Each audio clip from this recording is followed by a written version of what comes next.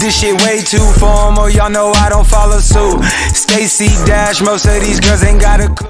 안녕하세요. 오늘도 외국 힙합을 더욱 재밌게 즐기실 수 있도록 꼭 알아둬야 할 아티스트를 소개해줄 3분 힙합의 준벅입니다. 눈부신 grillz가 제일 잘 어울리는 딸바보. 살짝 입을 벌린 모습마저도 간지가 뚝뚝 흐르는 남자. 미친 비주얼, 엄청난 무대 장악력, 중독되는 사운드. 음악뿐만 아니라 모든 방면에서 완벽함을 추구하는 퍼펙셔니스트죠. 음악을 반대하시는 부모님을 떠나 돈 한 푼 없이 바닥에서부터 끈질긴 노력 끝에 trap 기반 singing 랩으로 힙합신의 판을 바꿔놓은 오늘의 3분 힙합 주인공 트래비스 스캇입니다.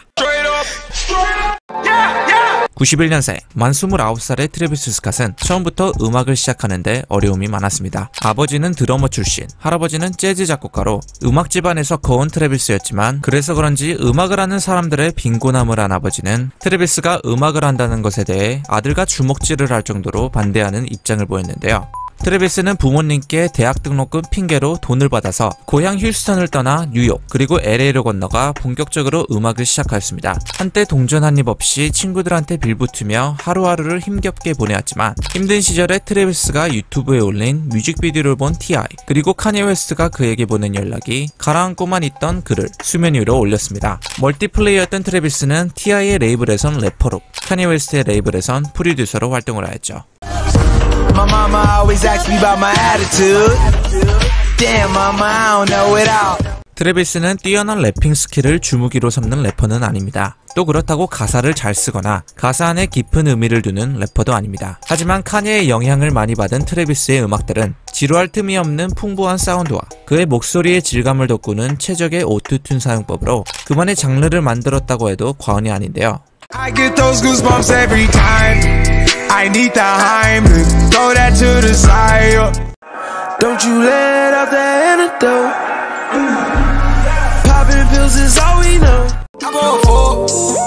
I call your whore. Just a fucking short. I just went got my door. 그리고 2018년에 나온 그의 앨범 아스트로 월드는 앨범의 퀄리티는 물론 트래비스가 어릴 적 폐지되었던 놀이공원을 연상케 하는 앨범 커버 아트 그리고 아스트로 월드 투어에서 보여준 약 빤 무대 디자인까지 정말로 부족함 없는 멋진 한 아티스트의 작품이었습니다. 그해 카디비에게 밀려 그래미 수상을 못한 것은 옥에 티였지만요.